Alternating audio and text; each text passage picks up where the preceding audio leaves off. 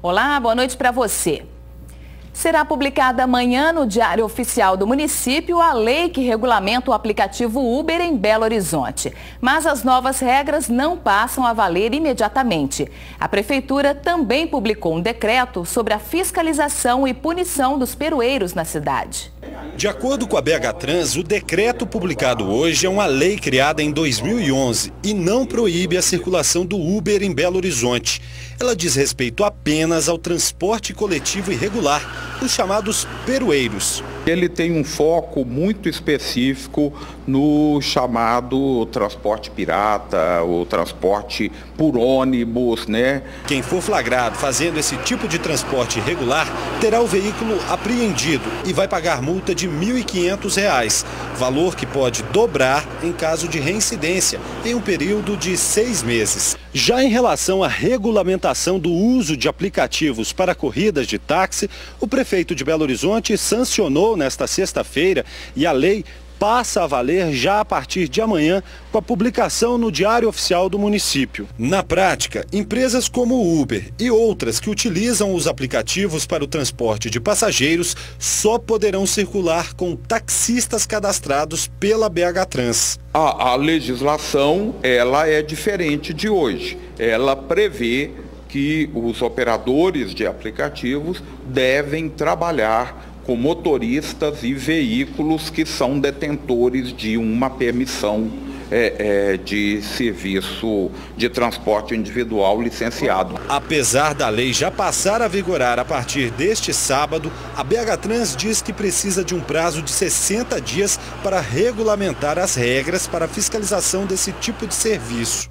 Até fevereiro, será apresentado um modelo de táxi considerado premium, que terá os mesmos benefícios do que é oferecido hoje pelo Uber. Estará passando por uma melhoria, uma requalificação muito significativa. Nenhum táxi em Belo Horizonte poderá operar sem ar-condicionado, é, nenhum táxi em Belo Horizonte, de qualquer tipo, seja o prêmio, seja o branco convencional. Integrantes de movimentos contrários ao reajuste das tarifas do transporte público de BH protestam neste momento em alguns pontos do centro da cidade. Hoje, a Defensoria Pública do Estado deu uma entrevista coletiva sobre o aumento das passagens. Uma ação para derrubar os novos valores tramita na Justiça. O objetivo da ação é suspender o reajuste que entrou em vigor no último dia 3 de janeiro. Para a Defensoria Pública, o novo aumento não tem bases legais. Daquele valor anterior da tarifa de R$ 3,40, a gente tem uma enorme discussão, uma ação civil pública, liminar concedida, é, liminar mantida em segunda instância e nós tivemos uma suspensão dessa liminar pelo presidente. Essa decisão que suspende a liminar não autoriza um novo aumento com base nela. A expectativa da Defensoria é de que a ação cautelar seja analisada o mais rápido possível, já que no próximo dia 27, um processo referente ao aumento do meio do ano passado também será julgado. Se as decisões forem favoráveis, os preços das passagens podem diminuir. Volta esse valor para o 3,10. Esse aumento de fim de ano ele incide sobre os 3,10 e a gente continua discutindo a revisão contratual com todos os seus é, impasses, com todas as ilegalidades que nós levantamos. Está cada dia mais difícil pagar as contas, né? Mesmo no sufoco, tem gente que espreme daqui, torce dali e deixa tudo pago no prazo certo. O problema é saber que todo o esforço foi em vão. Clientes de um correspondente bancário em Nova Contagem passaram por isso. Estavam crentes que os boletos haviam sido quitados, mas na verdade os valores foram desviados. Nas mãos, faturas de cartão de crédito, contas de luz, despesas que as vítimas pagaram em dia, mas o dinheiro teria sido desviado por um estabelecimento que funciona como correspondente bancário. Seu Anedino tem o comprovante de quitação do valor total do cartão, 700 reais, mas apenas o valor mínimo foi repassado à administradora. Paguei dia 8 e só repassaram esse mínimo aí de 105 dia 22. O prejuízo de José foi com a conta de luz. Eu paguei a conta dia 21 de 12 de 2015, correto? E agora veio na próxima conta, veio cobrando o valor que eu não devo que, e que vão estão para cortar minha luz, com corte imediato, sendo que está pago. Dona Marilis diz que não é a primeira vez que tem problemas com pagamentos de contas na empresa, mas só agora percebeu que estava sendo lesada. Paguei triplicada, de novo, sem ver. E o banco só me cobrando, me cobrando, me cobrando. Eu falei, o que, que é isso, gente? Quanto mais eu pagava, mais eu tinha que pagar. As vítimas vieram até o local, mas encontraram a porta fechada. Ontem, o cartaz dizia que o estabelecimento não estava funcionando por causa de problemas no sistema e que abriria hoje. Já agora, o cartaz diz que a loja será aberta amanhã. Nenhum responsável pelo estabelecimento foi localizado. A polícia acredita que mais pessoas podem ter sido vítimas. É importante as pessoas que, se sentiram lesadas quanto a esse fato que venham ou procure a Polícia Militar ou procure a Polícia Civil para que se esclareça. Bandidos invadiram uma, uma fazenda, perdão, em Fama, no sul do estado, e roubaram um tanque resfriador de leite com capacidade para 500 litros. Eles levaram equipamento para a represa de Furnas usando um trator da propriedade. Wagner está indignado. Segundo o produtor, o equipamento é utilizado para armazenar o leite das 39 vacas da fazenda antes do transporte para o laticínio. Ainda segundo o produtor, o equipamento custou mais de 10 mil reais, mas o prejuízo pode ser ainda maior, já que sem o tanque, o leite pode estragar. Todo dia tem que pegar o leite e levar lá no laticínio. Já é uma despesa a mais, um trabalho a mais, um tempo a mais gasto, né? Os bandidos arrombaram também a sede da propriedade, mas não roubaram nada.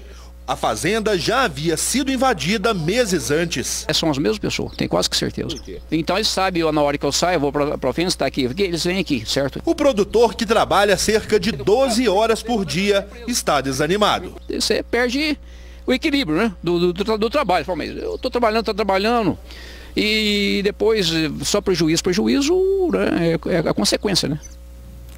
Preso em Dom Cavate, no Vale do Rio Doce, o suspeito de furtar várias galinhas na cidade.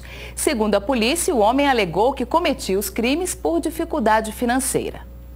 O homem de 38 anos foi preso na casa dele em Dom Cavate. Segundo a polícia, nos fundos da residência estavam 48 galinhas que foram furtadas na zona rural da cidade. No meio do mês de dezembro, é, foram também subtraídos, furtados dela, 54 réis de galinha caipira na mesma época. Contudo, ela não quis o acionamento da polícia porque diz ela que temendo represálias e por não saber quem era. O homem confessou aos policiais que fazia os furtos porque estava em dificuldade financeira. Na casa do suspeito, a polícia encontrou duas armadilhas de capturar animais silvestres e esta rede de arrasto. O material foi apreendido e o homem levado para a delegacia. A família de um caseiro foi rendida dentro de uma fazenda em Campos Gerais, no sul de Minas. As vítimas foram amarradas. Segundo a PM, os ladrões foram até o local atrás de armas de fogo.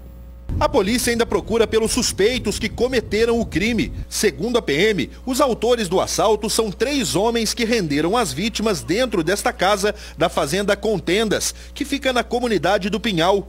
Ainda de acordo com a polícia, um homem e a família dele haviam acabado de mudar para a residência porque ele iria trabalhar como caseiro da propriedade.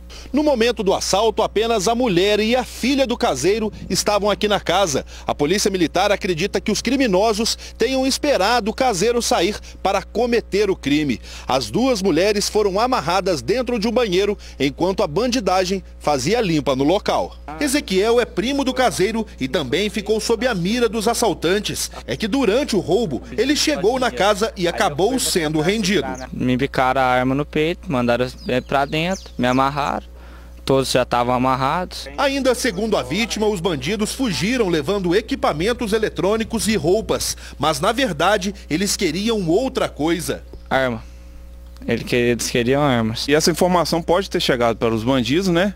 E eles imaginando que essa família poderia ter uma arma de fogo para se defender, veio até aqui buscar essa possível arma de fogo para utilizar em demais crimes na zona rural, área urbana.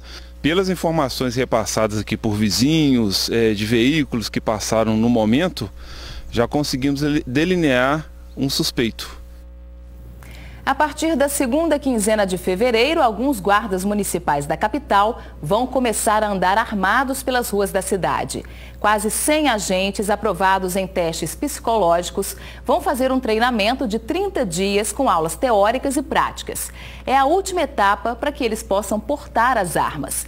Depois vai ser feita uma outra rodada de testes psicológicos com mais 100 servidores, de acordo com o comando da Guarda. Vai levar cerca de dois anos até que todos os 2.117 guardas de BH estejam aptos a portar arma de fogo. Os moradores e a Prefeitura de Guarani, na Zona da Mata, estão receosos com o possível surto de dengue. O número de casos da doença aumentou muito na cidade. Por isso, foi intensificado o trabalho dos agentes de combate a endemias. Dona Eva está se curando da dengue e sabe o quanto os sintomas da doença incomodam. Dor de cabeça, dor nos olhos, dor nas juntas do corpo inteiro. Tudo enquanto é juntinho que tem no corpo dói. Na família da Marileia, muita gente foi picada pelo mosquito Aedes aegypti. Meu irmão teve dengue é, meu sobrinho está com suspeito, a minha cunhada teve dengue e a, tem uma irmã que está acamada. Aqui em Guarani, na zona da Mata Mineira, foram registrados 82 casos de dengue confirmados no ano passado. O município está em estado de alerta por causa da epidemia da doença. Para tentar frear a ação do mosquito da dengue, a Prefeitura de Guarani intensificou os trabalhos dos agentes de combate a endemias. Eles vão orientar a população do que ela tem que fazer. Porque em simples coisas que eles fizerem dentro de casa, como um ralinho de banheiro, colocar uma água sanitária, um vaso sanitário, vasos de plantas que acumulem água, isso a população fazendo melhora 90%. Para não correr riscos, seu Mauro abriu a porta de casa para receber os agentes de combate a endemias. Na vistoria foi constatado que o aposentado tem cuidado de sobra. Nos ralos foram colocadas telas para evitar a passagem do mosquito. A água de reuso não fica parada, é utilizada para lavar as plantas do terraço. Por falar nisso, os vasos estão corretos, com areia, para não acumular água e a faxina geral é feita toda sexta-feira. Mas todos os dias a gente sempre tira um tempinho para vistoriar, ver se não tem nada acumulando água. Né? De um dia para outro às vezes muda, né? Como vocês podem ter tido exemplo, o senhor aqui tem a casa dele que é um exemplo hoje, mas infelizmente tem uma pequena minoria que não, não contribui com a gente, infelizmente. Você volta daqui dois, dois dias, duas semanas, a casa está do mesmo jeito. Está faltando assim, um pouquinho mais de esforço da população. Voluntários que recebem, separam e encaminham as doações enviadas para as vítimas da tragédia em Mariana vão sugerir ao prefeito Duarte Júnior que envie o excedente aos desabrigados da chuva no sul do país. Além da doação de mais de um milhão de reais em dinheiro, os doadores enviaram 180 toneladas de alimentos, 300 mil litros de água, centenas de calçados e 200 toneladas de roupas. Segundo a Prefeitura de Mariana, as doações ficaram em quatro galpões. Só as roupas ocuparam três espaços e agora o último está pela metade. No auge da crise provocada pela descarga de lama da barragem da Samarco, no Rio Doce, galões de água recebidos recebidos na cidade ajudaram a socorrer moradores de Resplendor, Governador Valadares, Aimorés e Belo Oriente, no leste de Minas. A proposta de repassar as doações para outros necessitados terá que ser levada ao Ministério Público do Estado e às vítimas da avalanche para que deem o aval. Confira agora a previsão do tempo para este sábado em Minas.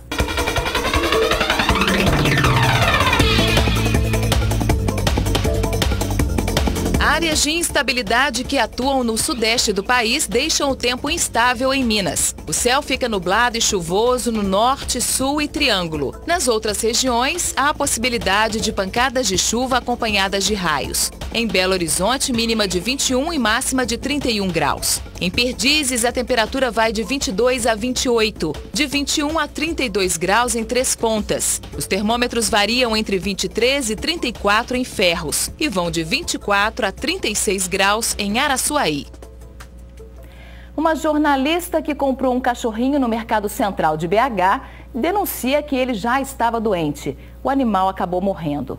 Segundo a compradora, o vendedor garantiu que o bicho de estimação era saudável. Por isso, fica o alerta para você de casa. Assim que chegou à casa de Thaís, Tostão, o cachorrinho da raça Bacê, já começou a dar os primeiros sinais de que estava doente. Não quis se alimentar, a gente ofereceu água, molhei o pãozinho no leite, oferecemos leite, ração, nada, o cachorro não quis. Depois que foi comprado no Mercado Central, o cão viveu apenas sete dias, cinco deles internado. Thaís gastou cerca de R$ 1.500 com o tratamento.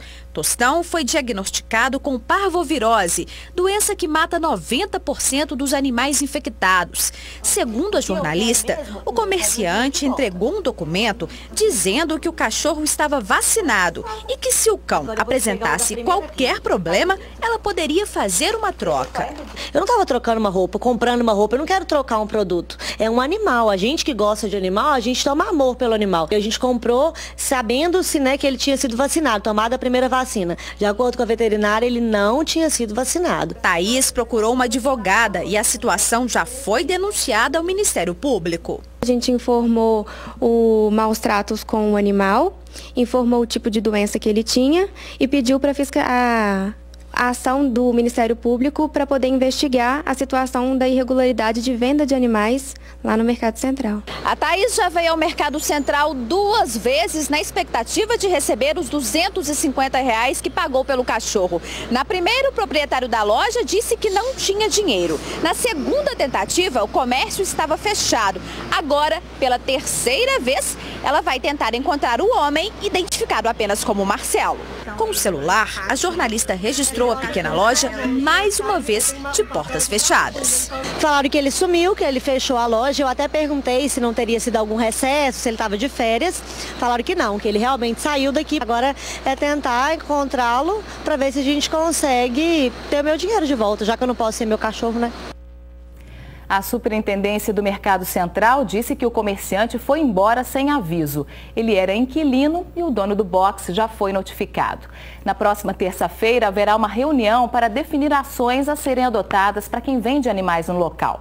De acordo com a Prefeitura de BH, não há norma que determine fiscalização por parte da Vigilância Sanitária. Um projeto de lei específico deve ser encaminhado para a Câmara Municipal. Daqui a pouco, os descontos que atraíram centenas de consumidores às lojas da capital. Voltamos já já, continue aqui com a gente.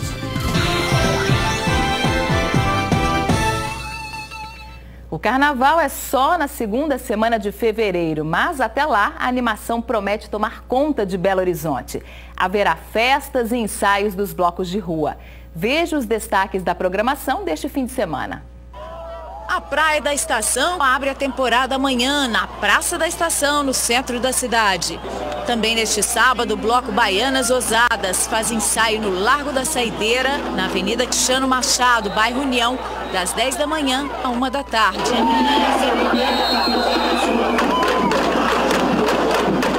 No domingo é a vez do Bloco Ordinários ensaiar no mesmo local e horário. Na semana que vem será a vez dos percussionistas do Mamá na Vaca, Unidos de Samba do Queixinho e Tchanzinho Zona Norte.